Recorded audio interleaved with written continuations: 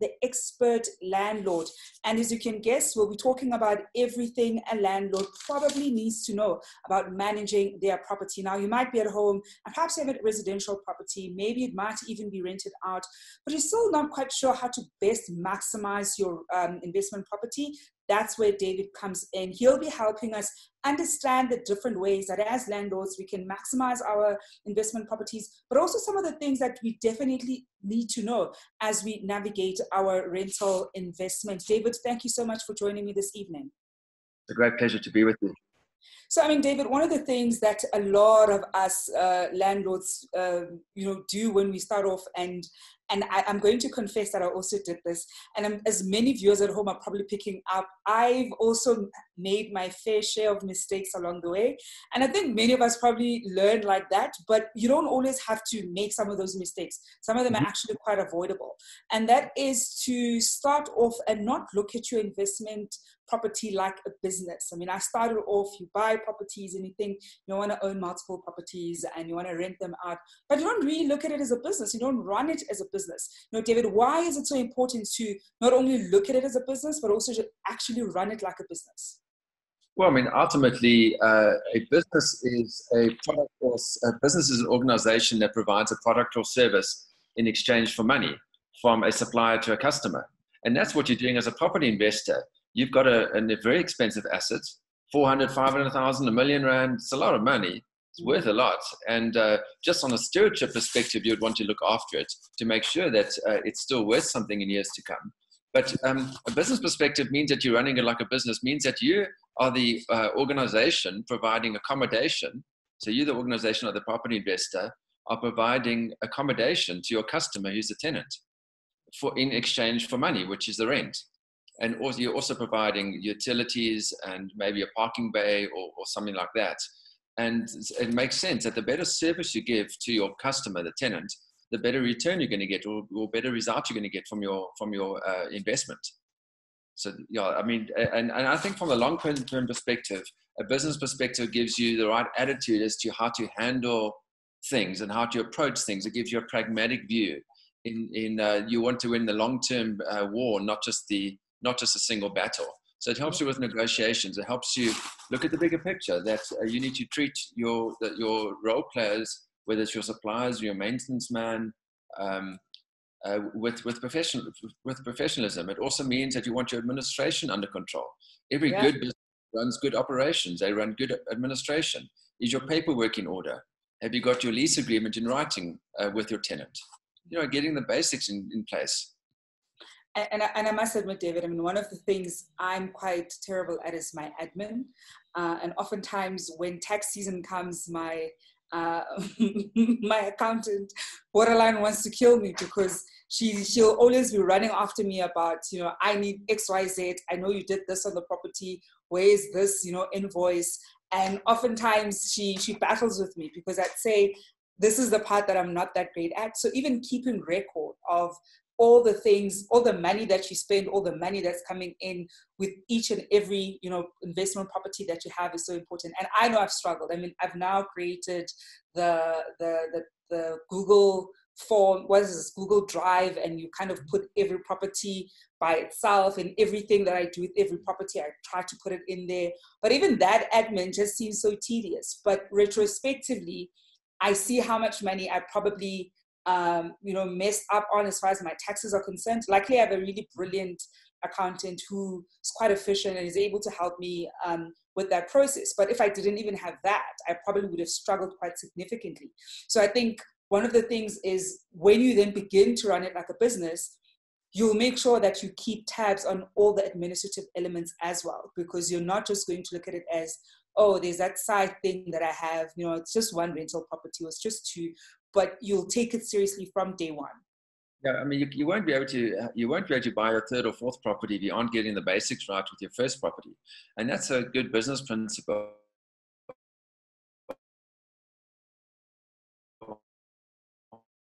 Yeah. You, you learn to walk before you learn to run. So um, I think the main thing is to get better at it over time, like you have, as opposed to think you're going to get it perfect yeah. up front. And it took us our systems and our business up and running correctly. But but from a filing perspective, it's very simple. I'm not the greatest filing person myself. Luckily, I'm married to someone who is. But um, it's very simple. You have all the information around your property, a property. Um, and then separately to that, or in the same big folder, you have a folder on each tenancy. So mm-hmm. each tenant you put in that in that file, and you just put all the documents for that one tenant in uh, with that property file and that's a, that's the best way to to to, to you know to, to set up your framework so I'll make sure that I, uh, uh, when I decide to get married, I'll make sure I marry somebody who's more efficient with their admin than I am, because I'm I'm I'm not. I've re- I've accepted that I'm not going to win that battle. It's it's just it's above me now i just keep it moving so i think i need to be partnered with somebody who's who's quite efficient in their administrative tasks but david you know to also then look at some of the other things that um, a landlord needs to be mindful of one of them of course is going to be tenant screening can you take us through tenant screening Tenant screening is super important. Now, I just want to say one thing. On we all, I mean, it's, it's pretty obvious, right? Uh, the, the, the reason why the quality of your tenant is going to determine the the, the amount of money you're going to get in consistently through the period of release. And a good tenant is going to look after your property. But let's, the one caveat I just want to put in, uh, you know, just put up front is that it's easy to say in theory, while we sitting at home watching this, uh, this episode, we can say, of course, we need to get a great tenant. But let's think about the 30th of the month and you haven't yet found a property a tenant for your property. Now what?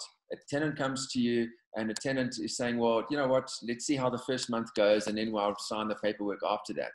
You know, and when you're desperate and you've got a bond to pay the next day, just be very careful to rather make sure um, maybe get a short-term loan to cover the bond for that month, but don't don't be pressurized by the situation to mm. place any tenants. So I just want to put that caveat in, in because it's easy to say in theory. In practice, uh, we need to make sure that we um, are, are protecting ourselves. But screening a tenant, it's basically what you, uh, a quality tenant.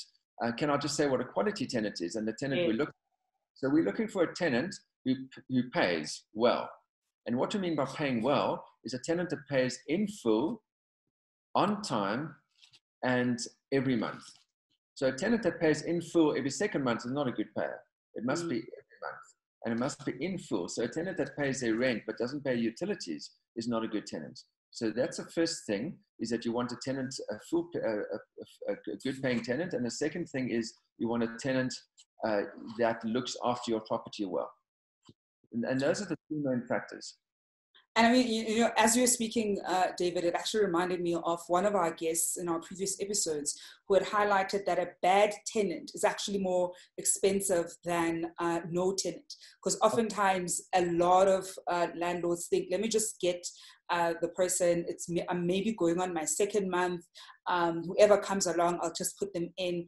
And as opposed to perhaps sitting down and evaluating if, for example, your price point is at the right level, perhaps you've overpriced your property, um, maybe you should rather go down, whether it's 200 or 500 rands, um, assess whether uh, you're marketing to the right people. Perhaps you, you're not posting your ads in the right places. So you're, you've got a, an apartment, say in Sandton, but the places where you're placing your ads, that target market doesn't actually go to those websites. Um, and that's where, you know, resources like privateproperty.co.za come in handy because you're able to place whichever, you know, able to place your, um, your property regardless of which area you actually have. And when people search, then they actually go to that specific area. So you don't have to scrabble and think, oh, maybe I haven't placed it in the right place. So using credible platforms uh, like ours becomes so important. And then assessing. So you go into privateproperty.co.za and let's say you're in Sandton, you look at Sandton and let's say you're in uh, in Rosebank in particular, then you see, okay, the average two bed is going for 11,000, but you've placed yours at 15,000. The reason why you're not renting out is because there, there's quite a big gap or quite a number of properties from that 11,000 to 15,000. So being able to assess the other issues that um, could be the reason why you're actually not uh, letting out your property is probably more important than putting in the first person that you find because trying to evict a bad tenant is such a costly exercise and it simply just doesn't have to get there. Yeah. 100%. And by the way, I'm um, talking about private property. We get excellent results with private property, by the way. And I did a, we, we did a, an analysis just this last week as Yeah. to give us the best results. And Yeah. um, you know that um, private property hit the top of the pops. Um, and I'm, gen- I'm genuinely saying that because I, we did an analysis the other day, um, and the guys, get, my team gave me the figures. So uh, awesome stuff. But I, I think it's really important that you that you uh, uh, the first the first point in in look you know look, uh, placing a great tenant is to make sure that you you're doing proper marketing and that the pictures you're putting up uh, on on private property are the best possible quality and that you're pricing it well. Pricing in this market is terribly important, Mm. super, super important. And if you're overpricing your property, the kind of tenant that you're going to attract, um, tenants are pretty wise people, and they're going to. Um, let me put it this way: a, a professional tenant will not go for an overpriced property, but a dodgy tenant will. Okay. So they won't actually ask questions. So you also need to be quite careful of that. Uh, if you're joining us on at home, uh, this is of course the Private Property Podcast. I'm your host Zamantungwa Khumalo, and tonight I'm speaking to David Beattie, who's the author of The Expert Landlord, and we're looking at everything that every landlord should know about property management. Now, if you have any questions, you're more than welcome to send them, and I'll be asking them to David. And David, we've already have a few questions coming in, and one of them was actually something that I wanted us to have a look at, and it's coming from Michael van Niekerk, who's asking, how would one screen a tenant post the pandemic? Uh, their payment record would not reflect their true pre- payment ability. Well, I mean, I, I think, yeah, I mean, the, the, the pandemic hasn't been that long. Mm. Uh, even if we're looking at a month's time, that payment record will show immediately from the end of March. And in my view, the end of March payment is, for us, it was 95% as good as normal because most people were paid a salary in. March. So you may have a bit of a challenge uh, from the first May um, um, payment. But other than that, uh, the tenant's history is pretty much going to be well extended beyond the period of the, uh, of the, of the lockdown. Um, and second of all, a, a, a professional tenant will provide a data or a document stating that they didn't get paid during the period of the lockdown. So it'll be pretty clear um, through your screening process that you will that you will be able to get the right information about that quality tenant. And I mean, I, I actually saw uh, TPN data coming in. Uh, they're showing it today that I think it's 32% of residential tenants have not paid their April um, rent, and they're possibly, you know, projecting that it's going to be more for May. So we do realize that we in relatively unprecedented times right now, and perhaps some of those tenants may have either lost their jobs. I think we've seen uh, over a million South Africans losing their jobs or having their pay being reduced. So almost need to take an informed decision when you're assessing tenants post the pandemic. Um, and of course, we don't know how long this period is going to last. So even if lockdown, you know, ends when we currently think it's going to end or gets extended, chances are there's still going to be economic, you know, ramifications for other businesses. So tenants are going to be affected. So I suppose as a, as a landlord, you're also going to be assessing other factors when you're screening um, a tenant.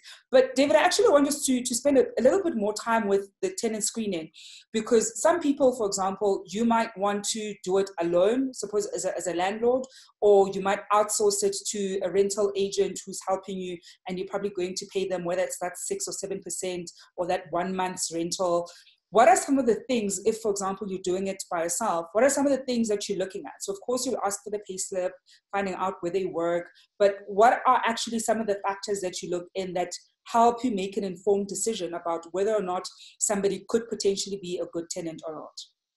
So you, are looking for the uh, uh, to go back to the criteria of a good tenant you're first of all looking for a tenant that has the ability to pay. So what you want to do is look for first and foremost look at their incomes uh, is, is income at least three times what the rent amount is? If it is, you can go to the next stage, and now you can check the salary slip um, that the money that the salary slip says is going out every month is actually arriving in the bank account. So you need to check the bank statements and you check that the, the money is actually going in. On those bank statements, you want to check that the expenses going out is not more than that income. And typically, a tenant um, is renting, pri- uh, renting another property prior to renting yours. So you can then see a monthly rent payment going through, and you can see when that rent payment is actually being made. So that'll give a pretty good history, um, the last three months' bank statements. Just on why we're talking about documents, um, can I just, for a private landlord, is to go in with open eyes and expect that there is fraud.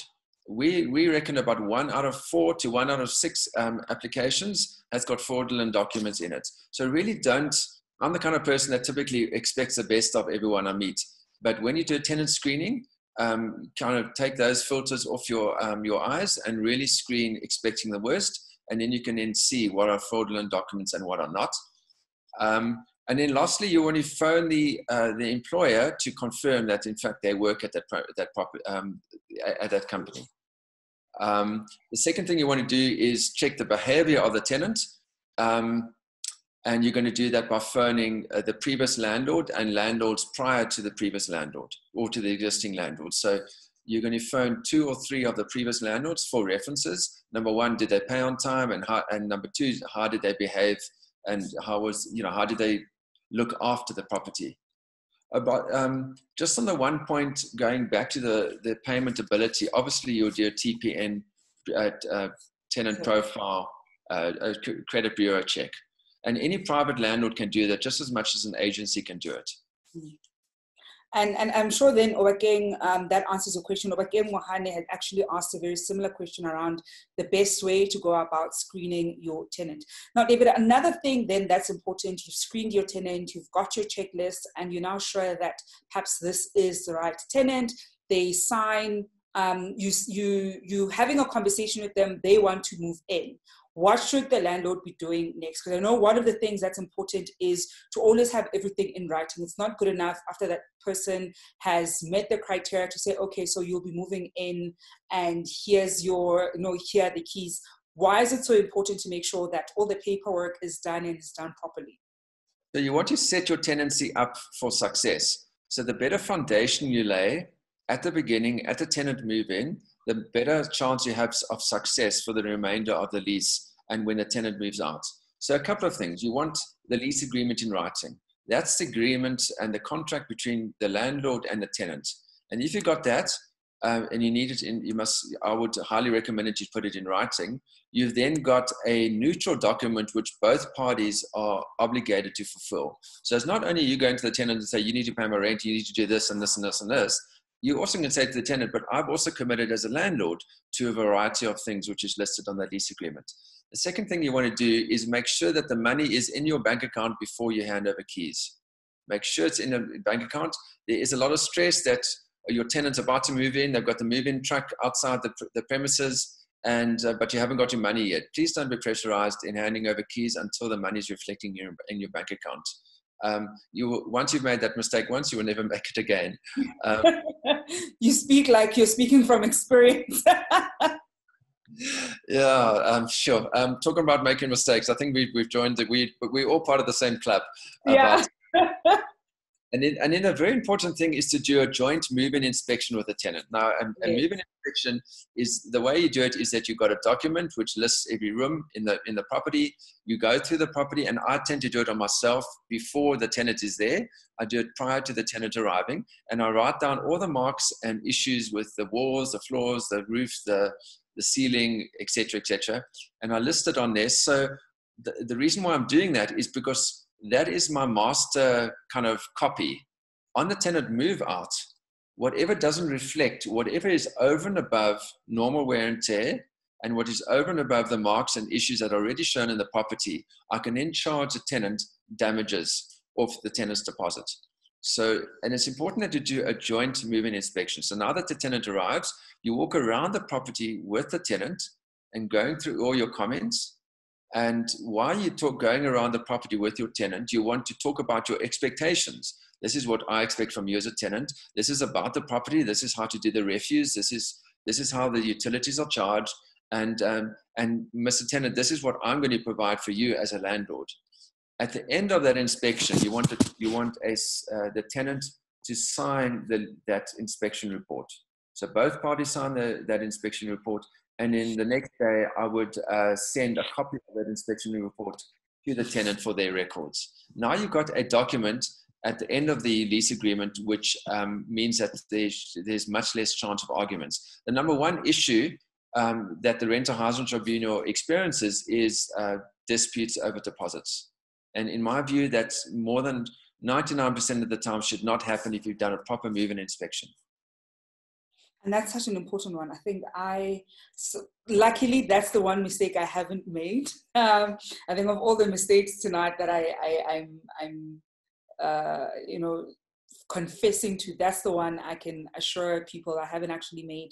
And that was because I used um, a rental agent and they created that snag list. And in the event where they first actually inspected the property themselves um, and said, We are seeing that these are some of the issues that might come up. So, as the landlord, they advise that I probably fix those first before a tenant moves in, just so the wear and tear doesn't get, um, just so it doesn't get more damaged. And so that the next person who moves in moves into a place that doesn't have issues. And then by the time a tenant comes in, there essentially isn't anything wrong and there's no snag list and they do an inspection, they move in, we sign. And by the time they move out, they also do an inspection. And in the event where something is broken, they actually notify the tenant that this is what's happening. You can fix it. Or if you want the landlord, if you want to fall on the landlord, then likely your um, deposit will be affected. So that really is quite an important thing to be mindful of when you're a landlord. Now, David, there are questions that our viewers at home are sending. Of course, if you want to send any um, questions to David, um, do send them through and we'll be discussing them. Now we've got one again from Obakeng Mohane who asks, I've previously done credit screening but still had a problem with the tenant paying. What other things can I look out for? Well, I think um, I think I think it still comes back to the tenant screening. I mean, you need to look at uh, is there consistency in that income? If they if they earn if the rent is uh, three and a half thousand rand and they earn twelve thousand rand uh, for one month, but the next month they earn six thousand rand, you know how consistent is that income? Also, I would really look at the history. The history is what provides the best information for the future. So you need to be doing making sure that you're doing proper uh, um, reference checks on that tenant we find that a good tenant, uh, yeah, also um, sometimes a tenant, good tenants go through tough times. I mean, you're going to get the classic experience going through it now. We we predicting uh, we're predicting very heavy times going forward for the next three to six months. And we're going, to, we're going to have some really good tenants that are going to struggle over the next period. So, so when you when you go to, your screening history with a tenant, look through. You might find that on the on the TPN record, that there's a whole lot of, or two or three credit his, uh, issues on one month in 2016. That might have been when they lost their job. Whereas if you look at the tenant history uh, and you look at, there's a, there's a, um, a default every six months. Now that shows habitual behavior versus a once off losing your job. So look at that kind of thing. Look at context, delve deeper into that tenant. Bear in mind, you've got a 500,000 Rand or a million Rand asset if you go to the bank and get bond finance, the bank is going to ask a lot of questions and you need to provide a lot of paperwork for the, for, for the bank. Yeah. You're no different uh, yeah. as a landlord. You've got to make sure you're doing your, your, your screening very super uh, carefully. Our credit department in our, in our company, I think they're, they're worse than the banks sometimes. Uh, and it's quite frustrating, but it means in the long term, well, it's frustrating in a good way and I've learned not to put my finger in that pie when, when it comes to our credit experts, because in the long term, it means that we have very few evictions. In, we, we have, in fact, we hardly know what an eviction is because you, your screening is that important. And so, David, another question coming in this time from Bupilo uh, Sita is My tenant only notified me through WhatsApp messages that she's not getting her April salary. What should I request to prove that she's being honest? Sure. Um, look, t- the first thing is that tenants are obligated to pay their rent. And the president's been very clear on that.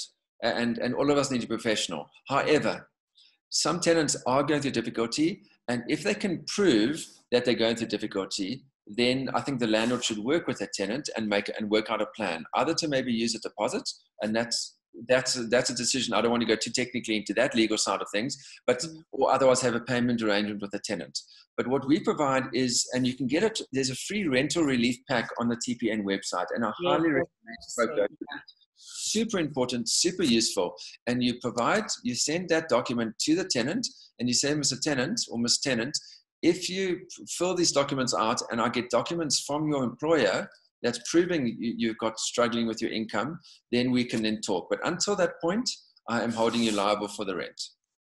And I think, you know, I, am actually going to reiterate that, David, because we did speak to uh, Silna, uh, to Michelle Dickens, the MD of TPN. I think it was episode two, episode three. Um, so, I mean, if you're listening at home, do check out that particular episode. And that was really when we were talking about some of the relief that um, both tenants and landlords can seek during this uh, COVID 19 crisis.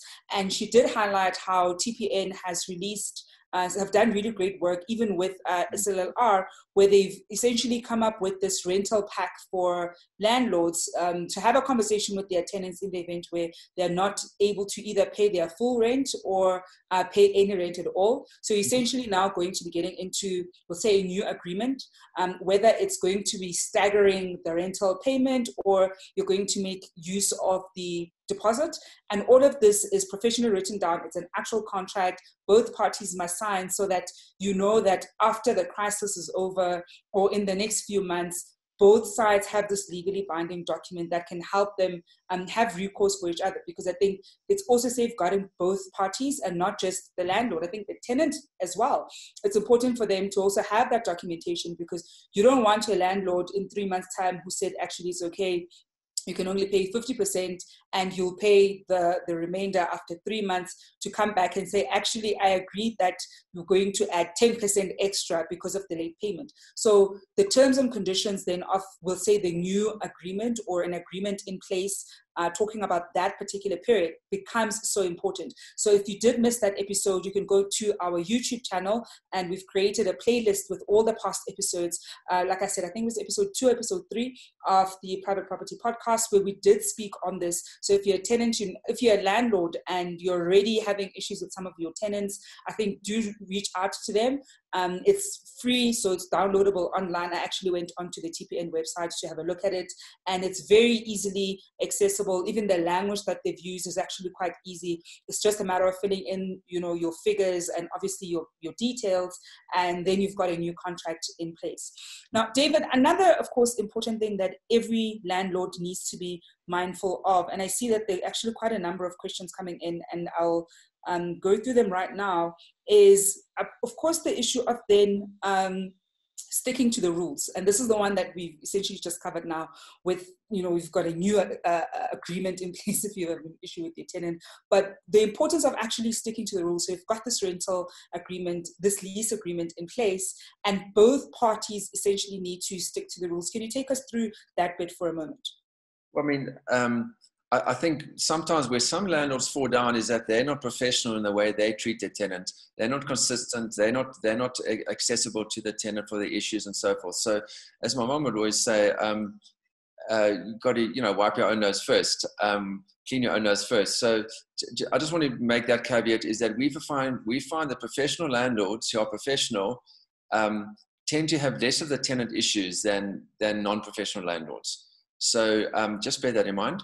But other than that, is question is communicate well with your tenant. If the tenant is breaching the lease, which which means that they are going against some of the terms of the lease agreement and not acting in accordance with the lease agreement, then I, as a landlord, would should act very quickly and communicate professionally in writing to the tenant that they have breached a particular clause in the lease agreement, and in terms of the lease agreement, they've got X number of days in which to rectify that breach. But act quickly. And, and again, we, we have thousands of tenants, and most of these kind of issues are not, you know, they dissipate. So some of the issues do become large issues. I'm not saying they don't, but a lot of it comes down to putting the right foundations in place, acting professionally, acting quickly, and then you find, say, eight or nine out of 10 of these issues tend to be sorted. Now, another another thing, um, you know, that becomes quite important with uh, with property management, certainly as a landlord, is the importance of being consistent. Because uh, property management really is about getting those things right month after month. What are some of those things that you essentially need to be consistent about every month as a landlord? The first thing you want to do is make sure you're billing your tenant consistently, say around the 25 or the 26th of every month. Mm. Making sure that you're billing the correct rent amount, and then billing any utilities that may be uh, charged in arrears, etc.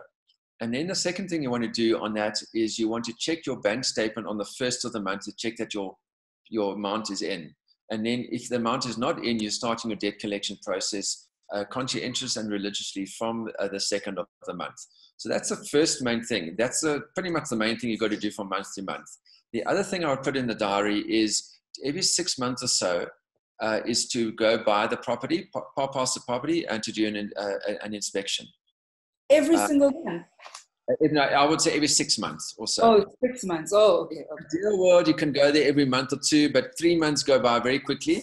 And to make it sustainable, we found that trying to get in inspections too often is just not sustainable. So it's rather not. have it. And I think it's also just invasive. I mean, if if we're trying to go into, a, I mean, every month I think is a bit of a stretch. Perhaps yeah. once a quarter that makes sense. So if it's a year long lease, uh, you're at least going to be seeing the place every quarter. And like you said, it does go by relatively quickly.